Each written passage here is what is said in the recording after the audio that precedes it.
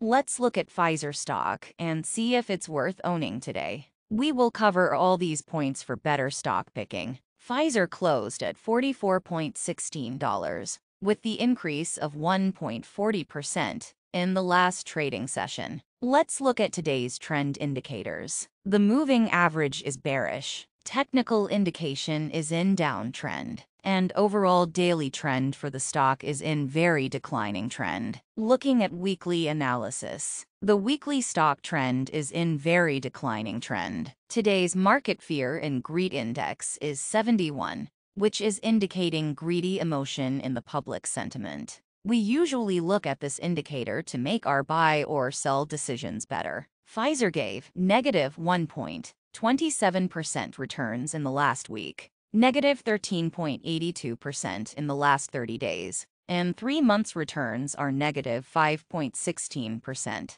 Now let's have a look at simple moving average data. Moving average indicates that what could be the next footprint of the stock price in near future? 5-day average is 44 with a neutral indication. 10-day is 44 with a bearish indication. 20-day average is 46, which is a bearish signal. Let's look at fundamental analysis. We will mainly see the last two quarters of the company. In June 22, the revenue was $27,742 million.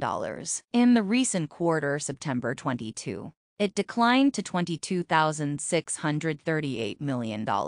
Now let's see the profitability of Pfizer. In the quarter June 22, the profits were $99.05 million.